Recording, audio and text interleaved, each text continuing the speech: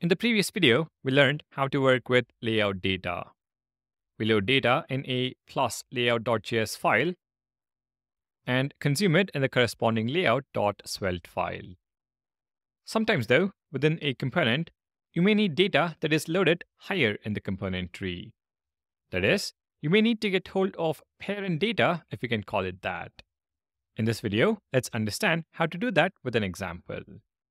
For our example, we are going to load user details in the root layout of our application and then access the same user details in the product layout file.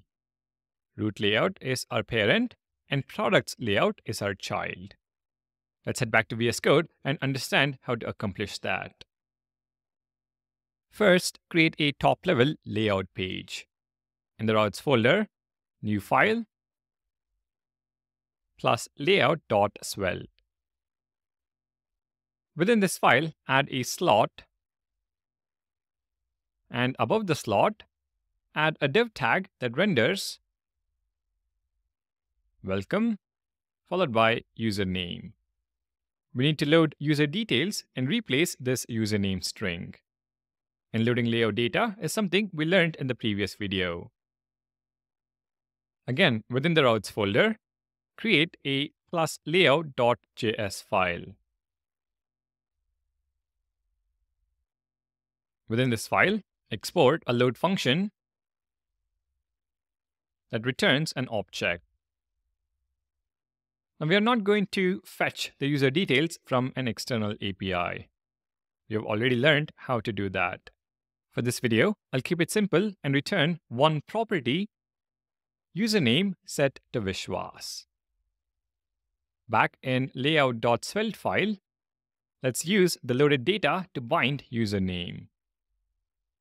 Save script section. We get hold of the data prop and we extract username from data. Welcome within curly braces username. If we head to the browser and navigate to slash products, we see the username being displayed at the top. Welcome Vishwas. Now what we are going to do next is personalize the featured products section we're going to display featured products for Vishwas. So the username, which is loaded in the root layout, needs to be displayed in the products layout as well. And the way to do that is to get hold of username in the products layout load function and then return it as part of the object that is injected into the UI. Now back in VS Code, within layout.js file, for products, inside the load function, we're going to access parent data. And to access parent data, SvelteKit provides us with a function called parent, which we can destructure from load event. We then call the function and await it as it returns a promise. Parent data is equal to await parent. And this is a function. Parent data here refers to the object that is returned from the root layout. That object contains one property, username, which we can destructure.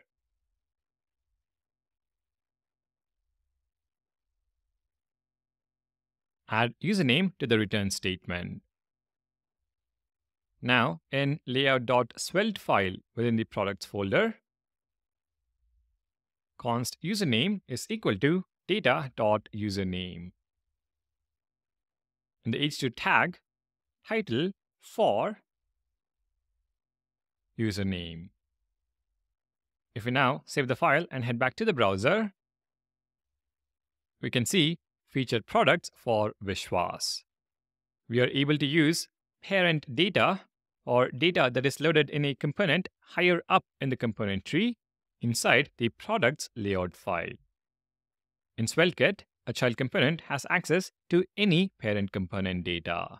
The component can also be nested any level deep and it still works. I also want to quickly revisit our slide on load function inputs. We can now add another input, which is the parent function. Once again, this is an input available to both universal and server load functions. Before we proceed to the next video, here's a quick exercise for you.